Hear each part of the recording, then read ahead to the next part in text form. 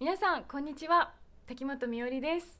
ドラマシスターが読売テレビ日本テレビ系にて毎週木曜23時59分から、えー放送スタートいたします。